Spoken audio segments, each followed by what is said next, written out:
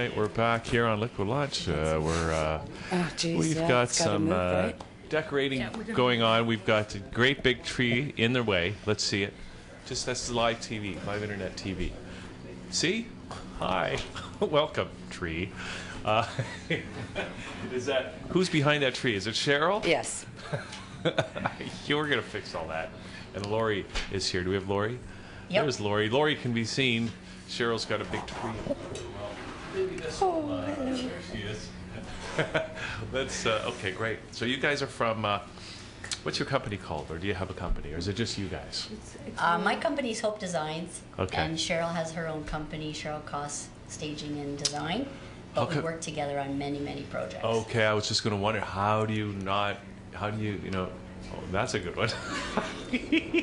that's, uh, so you, how come you work together? Aren't you like always like uh, fighting with each other to, uh, Oh, You know, no, get the no. customer. There's lots of work to go around for all of us out there in the staging world. We need Okay. uh, we need lots of bodies, lots of muscle. So we often it's it's not uncommon for stagers to work together. okay, that, well, that's great. Um, now, What- What's the role of a stager? How does it differentiate from an interior designer? yeah, When you're interior designing or decorating, you are personalizing a space for a homeowner.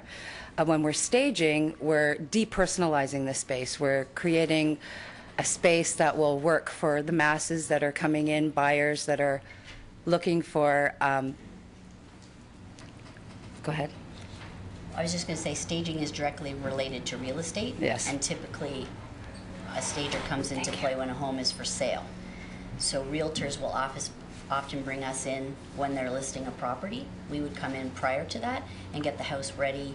We would give tips, suggestions to the homeowners, live, leave them with a long um, honey-do list. And from there, if the seller is interested, we would, we would stage the property. And that's the part you see on all the TV shows. So, but that also involves an element of having, you have to know design and you have to be able to put a room together. That also means you have to be up on current trends. Yes. So let's talk holiday trends for inside and outside of the house this year. I know there's a lot of funky colors out there.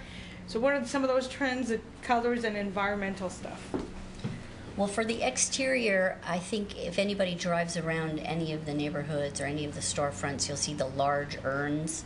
They can be made of any material, but the ones that you often see are the big cast iron urns, black.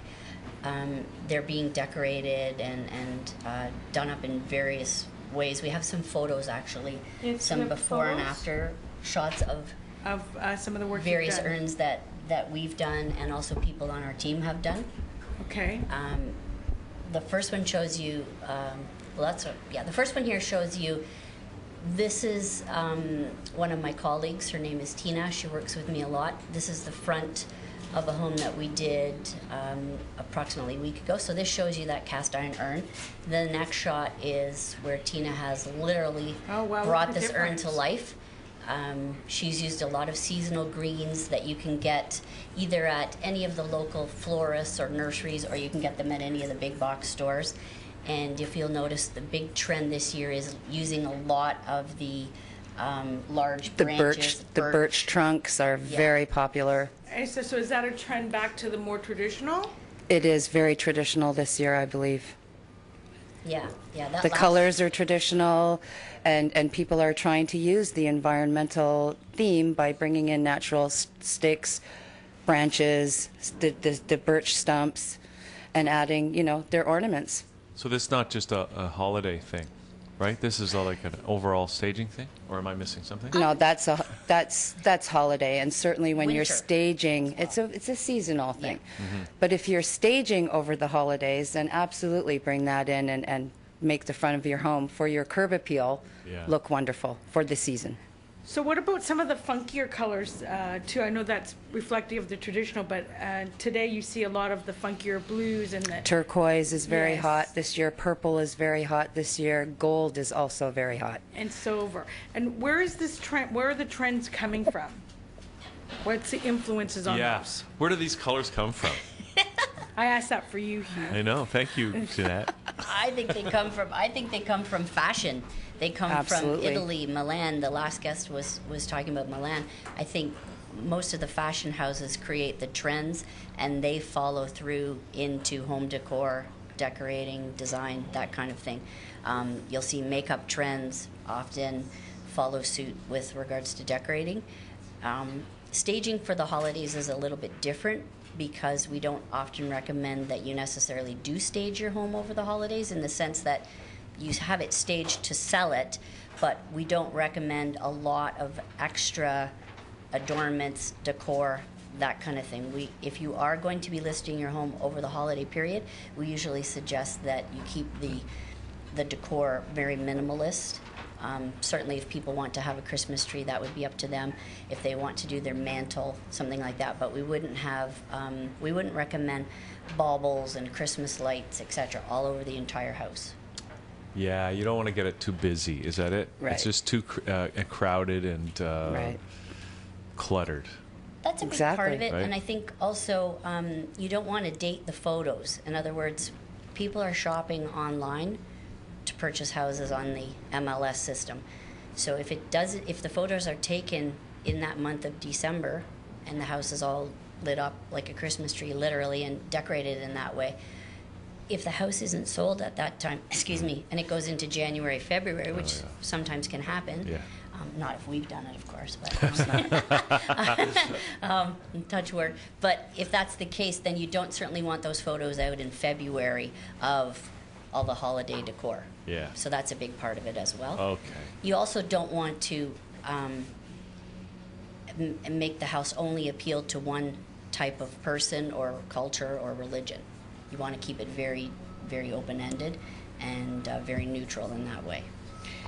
And if you're planning to keep the house, um, how can you just stage it up nicely? Like you brought some stuff to show us. Uh, how can you use some of these things or some of the things you might have from one year to the next, incorporate it into the decor of the home for the season, inside or out, so you're not always spending a fortune every year? Exactly.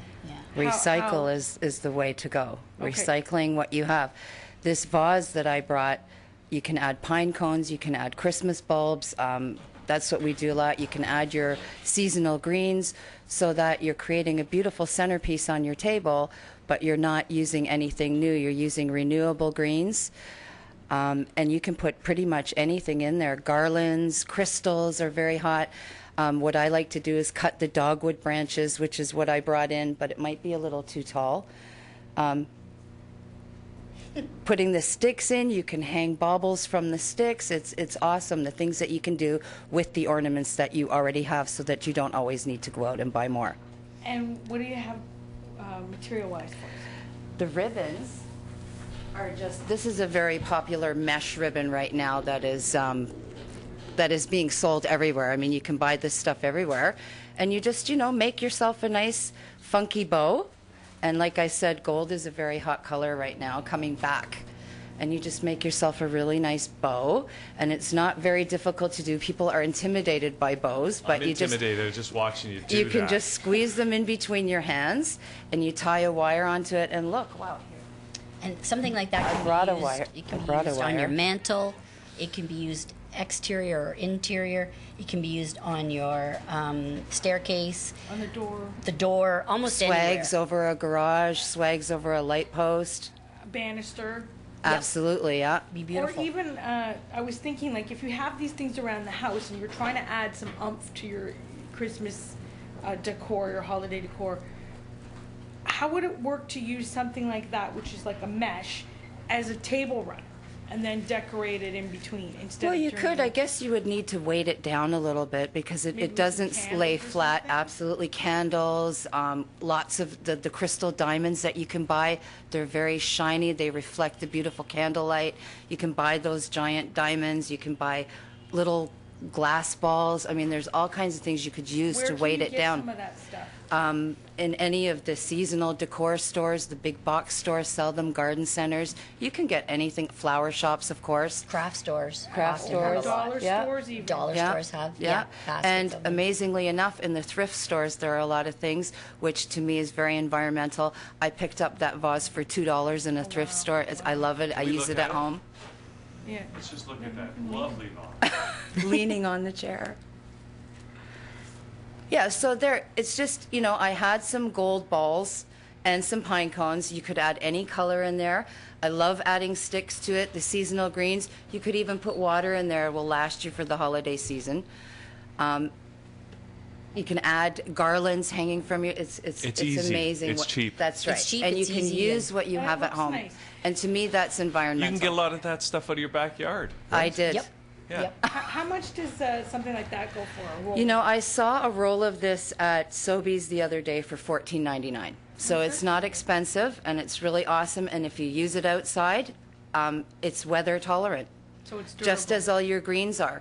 When you make an urn, they will last you for the whole entire winter season. Maybe after Christmas, you take the shiny baubles off, the oversized ornaments, and you keep it clean and green, and then it will last you the whole winter. You could even do it up and give it as a gift. I mean, that's a pretty inexpensive Sure, gift that you absolutely. Put some personalization with a ru- ribbon or something to it. Is is nice. I, I gift a lot of things like that. I make a lot of things and gift them. People appreciate it. You, you've put some effort and you could even and put it's some lovely. cookies or something in it. Sure. Great idea. You we know, did one um, once. We did one once similar to this, and we put the dogwood in that we've kept behind here because it's too large. But we had the dogwood in the center, and then we just attached tiny little Christmas balls, so it makes a huge centerpiece. It's very yeah, pretty. they're, they're stunning. And with the way Sheryl's done it in this way is if you choose to, you can get completely, you can get rid of the gold balls, for instance.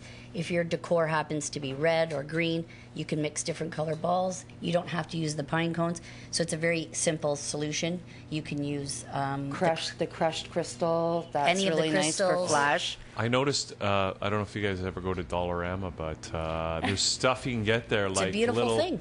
Yeah. little glass pieces That's and right. stuff like that. Yeah, Yes, we it's use stuff like amazing that what all you the can time. put in there. Absolutely. I was thinking like you could put a tablecloth down, run something like that over top, like Mm-hmm. a runner. Put some crystals, maybe some snowflakes or any kind of thing, winter motif. Lots of candlelight. and then and then a centerpiece, and you'd have the most amazing table That's with right. china all done be up. beautiful. And you can See- tuck in some greenery as well, just bits and pieces, and it's very pretty. What you could also do at the end is you get yourself a, a dowel stick and even glue it on with a glue gun on each end, and that will help to weight it down hanging over the edge of the table. So that's a crafty way to, If you to want put to use that, on that your as a runner. Yes. Yeah, these are awesome. Very hot, this mesh stuff right now. So, um, just roughly speaking, like to create something like that, uh, can you do it for under thirty dollars? Absolutely. Yeah, so that's pretty cost effective. Absolutely. I mean, I cut the dogwood and greens from my own backyard. Lots of people can do that. You can go to any garden center, big box store, and buy a bundle of greens. Um, pine cones, we can pick them outside. You don't need to buy them. You buy yourself a little bit of ribbon, or everybody has ribbon at home. You can make smaller bows, bigger bows. If you had old Christmas decor, old uh, Christmas wrapping, um, even like old Christmas cards that you know from years ago, could you cut them up or incorporate them somehow? How would you recommend doing something like that? You could. I cut up old Christmas cards and use them for gift tags for the next year. Oh, that's handy. Yeah, I do. Or you can cut around the shape. If, Yeah. if there's a snowman on the front, for instance, you can cut around the shape. If you wanted to, you could wire that up onto the dogwood and, and hang it off as an ornament. You can just about do anything. Um, Or even a paper mache type of thing. Mm-hmm. Yeah, And I the kids can help that, with um, that. Yesterday, I saw something on the news about Hallmark is celebrating their 150th year, I believe, or 100th year, and they had um, and they went with retro uh, decorations for their store, and they were using cards from the very first, like just whatever they had, and they cut it all up. It was really interesting, and they had stuff from the 50s, 60s. It was really interesting, actually. Yeah. Yeah, they do it's- some neat fun. things. We have a few more pictures too, if you're Okay. interested. Yeah, let's uh, let's have a look at those uh, if we can. This is one. So this is an urn. Um, I work with an event company, top event company in Toronto, Creations by Gita, and this is compliments know of her, her. actually. Yeah, good, yeah, yeah. I've been working with her for 20 years, and they're they're awesome. And this is something that um, she has done this summer for a client, uh, this winter, sorry, for a client. And as you can see, the birch is very very big. Um, a lot of people are using it. We even saw it driving in today all over downtown. And you add giant oversized pine cones, oversized uh, ornaments. It's fantastic. And then anything that's flashy in there, I would say after Christmas you take it out, and that will last you the whole winter. the greenery will stay Yes. fresh She and also green. does a lot of the mall decor, right? Uh, no, She not a lot. some. We used to years and years ago. You're right, but not anymore. No. Okay, I know her and her daughter very well. Actually. Oh, there you go. Isn't it a small world? I always say. Yeah, Yes. yeah. She's awesome. Mm-hmm. Yeah, Do we have another one uh, we can look at here? yeah. There's the there's some matching urns. They're a little bit smaller at the top of the stairs. Um, the bigger ones are down at the foot, and then of course the wreath on the door. Everybody has to have one of those. And with Christmas, you know, the sky's the limit. You can go over the top glam, or you can keep it very seasonally simplistic. Whatever it is you like to do, it's not wrong. It's beautiful, and why not show the flash? Absolutely. Well, glitz is in now. See the sequins. Absolutely. And reflective on all the clothes, like you said. Yes. Fashion. Yes. That's another one that incorporates one of the um, kale or the cabbages, the ornamental cabbages. They don't tend to last right throughout the season, but you could replace that when it starts to get very cold. But it shows you the height, the sticks, the different greenery. It's a lower urn, but again, it can go almost anywhere. If you've got a balcony, um, you don't necessarily have a huge front, And front foyer. yeah, urns are easy to do because you can go and buy the actual insert at the garden center and you just plop it into your own urn. So you don't have to make it from scratch. But if you do, that's a simple thing to do as well. As long as you make it before it freezes, and once it's wet, it'll freeze for the winter and stay that way all all season. if you choose to purchase it that way from one of the big box stores, what I always suggest is it, it, it comes that way. It's the base. It's it's much more simplistic that way. If you don't have an opportunity to go cut your own greens, but what you can do is personalize it yourself by adding some of the pine cones, one of the big bows, as Sheryl oh, just yeah. showed, that kind of thing. You can add some of the huge, big. They're they're sort of a plastic in nature now, but they're overscaled um, baubles and um, some of the big big round pieces, and you can add that to it. Crystal garlands. I've also seen like berries and sticks Yeah. and stuff like that. If you don't really, if you're not really a fern person, or if you're bothered, like let's say asthma or allergies or something like that, you can use those things too. Yeah, some In the home, berries yes. Beautiful. Yeah. Okay, is there anything else? Uh, any more pictures we, we want to go through, guys? Yeah, there's a few more pictures if. if Let's you'd go like through them quickly because uh, we're running out of time here. But uh, let's talk Oh, that's about. nice. If you could just talk about them as we That's go the through. the mantle. Oh yeah, that's just a mantle where it's an artificial garland, and you add your bows and pine cones, and ornaments. And and and what I do sometimes is I just stick them in between, and just it's not going to get touched by anyone, so you can add anything to it. There's a glass vase there as well, and it just it looks really super. That's another mantle where there's just greenery used, and what you do is you attach all your glass balls. Yeah. And it shows you some candles. It gives you some different color ideas. So really, you can mix, mix and match it to suit your decor. You guys have a, a, a knack of sticking the balls in all the right places. There you go, eh? It's a woman's touch. yeah, they're all so, lovely. and that's just a centerpiece. Yeah, that's a Creations by Gita centerpiece. But let, so that you can see, you can pretty much put any colors together and create a beautiful seasonal theme. It doesn't have to be green and gold and red, even though You you, know those are purples and popular. and- Absolutely. And that one includes some roses, which is very yeah, pretty. and orchids. Yeah. Oh, orchids is typically a summer uh, type of. Not, Not nowadays. It's- it's all year. Okay. Yeah. So it's good that you can see the blend. Let's look at the next one. This is just showing you that anything that you can get from your local um, grocery store, for instance, that big ivy, I use that year after year. Sometimes you can you can mix and match different bows, and then there's um, a nice little plant, and I've put I've matched it with an acorn, that kind of thing. You can switch that up. That can go on any table, so it really doesn't have to necessarily be holiday decor, but you can mix and match it. And when you add bows and lights and things like that, That actually looks like a topiary tree. Mm-hmm. Mm-hmm. Which is, I have them actually uh, throughout the home. You can get them in different, Yes. different. Yes. The ball type, you can get the standard long type as well. It's Yes, very and they're nice. really pretty, and, you can use add them all anything year. to them. Mm-hmm. Mm-hmm. Yeah. All right. The last shot was again just a variety of different Christmas balls put together, showing you a different theme. You can add your silver and black and white.